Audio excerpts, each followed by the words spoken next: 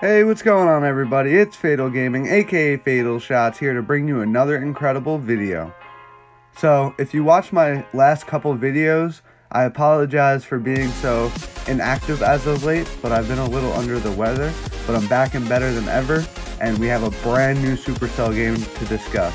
It's extremely exciting, and it's called Rush Wars. So Rush Wars, just like every other Supercell game, is free to play, but offers in-app purchases to help speed up progression. As you just seen, that was that little notice that just popped up. However, we're not going to be doing any gemming today in this video, hopefully sometime soon in the very future. Like I said, this game did just release today and is in closed beta to very few select countries, and I don't happen to be in one of those countries, so I pretty much had to create a fake Canadian iTunes account just so I could download the game.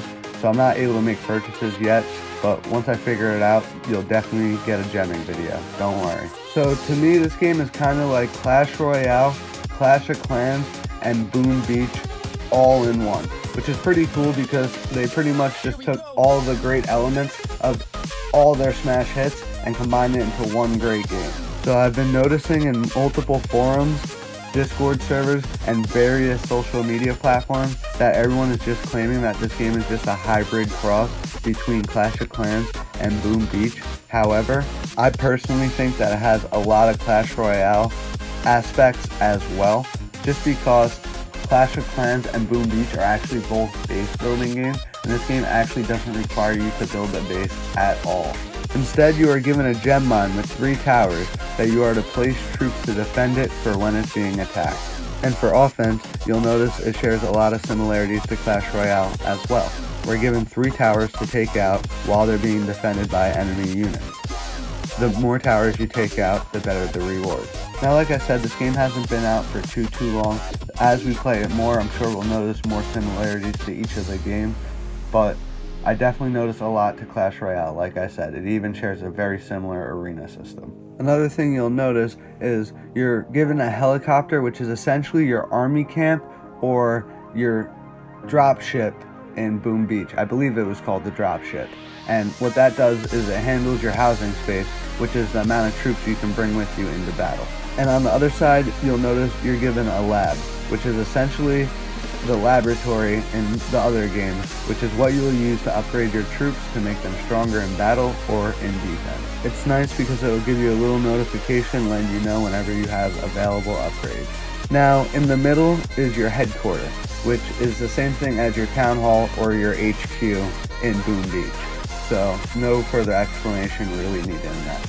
Just like every other game, you gotta upgrade your HQ to a certain level before you can upgrade your other buildings and vice versa. Now this is just tutorial gameplay footage because I wanted to let you all experience, especially the people who don't want to go through the process of doing what they have to to download this game early. So I wanted to let you all experience it right from the start opening up. So it's a pretty straightforward tutorial if you notice pretty much telling you to use this troop here, drop this troop here, attack this, yada yada yada, so on and so on. But if you notice, they actually did a really good job on the artwork. It truly is stunning, and it's only day one of closed beta, which means we should still expect many changes and improvements to come. If it's anything like Brawl Stars, Brawl Stars underwent so many different character remodels and UI changes in its beta lifetime, which could only mean that the visuals for this game is going to get even more stunning as time goes on. You may also notice that it shares a similar looting system as Brawl Stars. With that being said, I mean that it gives you boxes that aren't time required to open, but instead, they, each box takes 10 stars to open, and the way you get these stars is in attacks, each tower that you take gives you a star. Like I said, each box takes 10 stars, and on top of that, it also takes a key to open each box. Now, on max cooldown, you can hold 5 keys in your resource inventory. Now, I'm not sure if you can purchase extra keys to help open boxes quicker to speed progression along, but anyways, you get 10 stars, open a box, and you repeat this process for as long as you have keys, and then your keys go on cooldown. After so much time, you get your keys back, and then you can keep going back into battles where you can gain more boxes. You also get a defense box, which is obtained by winning defensive stars. which works the same way as the other type of boxes. And lastly, to wrap up this video, the little phone booth in the top right corner is a little tip information box. So if you're ever unsure what to do or you just want to get a couple tips, you just hit that and it'll give you some info.